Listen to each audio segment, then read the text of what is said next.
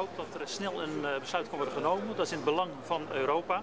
Uh, en natuurlijk hoeft het wat mij niet al lang te duren. Bent u gespannen? Helemaal niet. Nee, Hoezo? U bent nog steeds geen kandidaat? Nee, ik, ben, ik heb steeds aangegeven de laatste week. Ik ben geen kandidaat, ik ben ook niet gevraagd. Maar het belang tot nu, tot nu toe nog niet benaderd? Nee, in het belang van Europa is het nu echt uh, van betekenis als we snel een besluit zouden kunnen nemen. Zowel over de voorzitter van de Europese Raad als over de hoge vertegenwoordiger. Maar er is nog geen overeenstemming hè, over een kandidaat? We zullen wachten wat er nu gaat gebeuren. Uh, ik neem aan dat de meeste collega's wel aanwezig zullen zijn. We gaan straks met diner beginnen en dan wachten we verder af. Houdt u het voor mogelijk dat u straks als president naar buiten loopt? Ik heb steeds aangegeven, ik ben uh, geen kandidaat, ik ben ook niet gevraagd.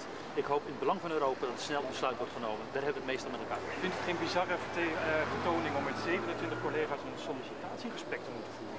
Laten we eens afwachten wat er vanavond gaat gebeuren. Ik ben benieuwd hoe het Zweedse voorzitterschap deze uh, avond het werkdiner zal gaan leiden. Hoe men zaken gaat oppakken, dat wacht ik eerst nu even af. En ik hoop dat we snel elkaar weer zullen zien. Houdt u nog van de Belgen? Prime Minister, are you still a candidate?